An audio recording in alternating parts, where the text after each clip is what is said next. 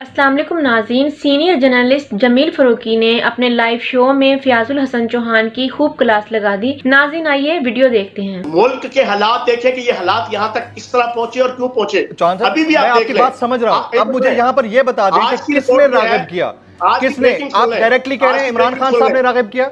आप ये कहना चाह रहे हैं? खुदा के बंदो वो मशीर थे तीन केसेस थे। हाँ। उन तीन केसेस में आप जमानत कराते जमानत आपकी कैंसिल होती आप गिरफ़्तार होते हम्म। पंद्रह दिन बीस दिन दो महीने तीन महीने बाद आप बाहर होते हम्म। उन तीन केसेस को 150 केसेस तक आप ले गए हम्म। हज़ारों लोगों के ऊपर भी चालीस चालीस पर्चे करवा दिए बंदे मर गए हो हमले हो गए हैं सारी चीज़ों के बाद चौहान साहब आप डायरेक्टली मुरद इल्ज़ाम ठहराते हैं खान साहब को नहीं नहीं देखिए मुझे पूछना भी तो है ना बड़ा ज़बरदस्त आप बोल रहे हैं मैं चाह रहा हूँ आप बताते कैसे होता है ना यार मेरी अर्जी सुन ले। मैं आपसे मैं आपसे सवाल करने का हक तो रखता हूँ ना। आप कह रहे हैं ना कि किसी ने उनको रागब रागिब किया आप बता दें कि किसने रागब किया। आप उसका नाम ले दें। क्या चीज़ आपको तंग कर रही है जमील यार क्या चीज़ तंग कर रही है चौहान साहब? मैं सवाल कर रहा हूँ आपसे। जवाब दे रहा हूँ। तो जवाब दे रहा हूँ आपको। जवाब देने के लिए तो बैठा हूँ। बताएँ किसने रागिब किया अच्छे तरीके से प्रोग्राम चलाएँगे आप बार बार सर बार- अच्छा बार- तरीका क्या? मैं आप मुझे मुझे देखिए प्रोग्राम कंडक्ट करने का तरीका आप ना अच्छा तरीका ये होता है, मैं आपसे मैं आपसे पूछ रहा हूँ देखिए मेरे पास एक टाइम रिस्ट्रेंट है ना मैं उस हिसाब से आपसे सवाल कर रहा हूँ। आप बता दें कि रागिब किसने किया? रागिब किसने किया? खुदा और रागिब इमरान खान ने किया। बस ये मैं सुनना चाह रहा था। बात खत्म हो गई। इतनी सी बात आप और आपने भी किया। आपने नहीं किया। करके आपने भी लोगों को जनाब मोटिवेट किया। आपने नहीं किया। आपको कैसे क्लीन चिट मिल गई? अब आप आ गए इस चीज़ के ऊपर। आपको कैसे क्लीन चिट मिल गई? एक प्रेस कॉन्फ्रेंस के बाद। हमने यहाँ बैठ के हादसे से बड़ा सान सर मैं यही पूछ रहा हूँ ना कि आप हिस्सा थे पीटीआई का या नहीं थे? यकम मई को आपके सामने अगर कोई प्लानिंग हो रही थी आप उसमें शामिल थे या नहीं थे? जज्बाती हो गए हो। नहीं जज्बाती की बात नहीं आपने बात ऐसी की है। आप मुझे कैसे ब्लेम कर रहे हैं? मैं तो सवाल करता हूँ आपसे। आप मुझसे पूछ रहे हो मैं नहीं गर्म हो रहा। अब आप गर्म हो गए। नहीं आप गर्म हुए आप आपने शुरू किया इसको।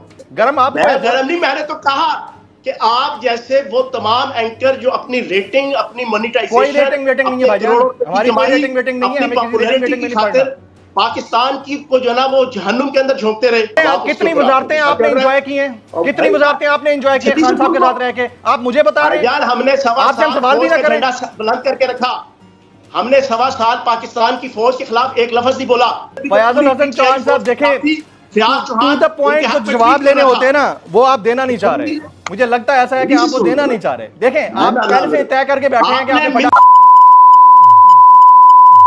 वही बात कर रहे हैं मिलते करके दिल्ली से सर। आप इंपॉर्टेंट है तभी टाइम लिया लेकिन इसका मतलब ये नहीं है कि आप बिल्कुल ब्लेम गेम शुरू कर दें है। मतलब यही तो हमारे। उन एंकर्स का नेगेटिव स्टाइल है जिसकी वजह से पाकिस्तान यहाँ तक सर आपका पॉजिटिव तो स्टाइल क्या है। आप एक जमात के साथ से 25 साल से एसोसिएटेड हैं आपसे सवाल ना करें आप एसोसिएटेड रहे हम आपसे सवाल ना करें। आप दो मिनट सुनो है? सियासत ने भी मुल्क का खराब किया है। फैजुल हसन चौहान साहब हाँ? बहुत शुक्रिया आपके वक्त के लिए। मैंने आपसे टाइम लिया पर्पज सिर्फ़ ये था कि आपको मैंने प्रॉपर शुरू में बराबर बराबर टाइम दिया आप बोल रहे थे मना नहीं किया। लेकिन क्वेश्चन करने का राइट मेरे पास है, इसको आप रोक नहीं सकते हैं। तो नाजिन, आपने देखा कि फयाजुल हसन चौहान एंकर के सवाल करने से किस कदर नाराज़ हो रहे हैं? क्योंकि वो चाहते हैं कि वो रट्टा रटाया प्रोपेगंडा सुना दें और जितना भी वो झूठ बोलें, उनसे एंकर सवाल ना करें, बल्कि हाँ में हाँ मिलाते जाएँ। मगर जब जमील फरूकी ने इस लोटे से सवाल पूछे तो इनका मकरू चेहरा बेनकाब हो गया और इस लोटे ने बदजुबानी स्टार्ट कर दी।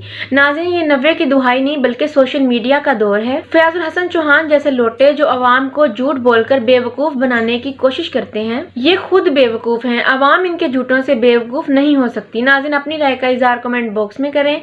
मिलते हैं नेक्स्ट वीडियो में। तब तक के लिए अल्लाह हाफिज।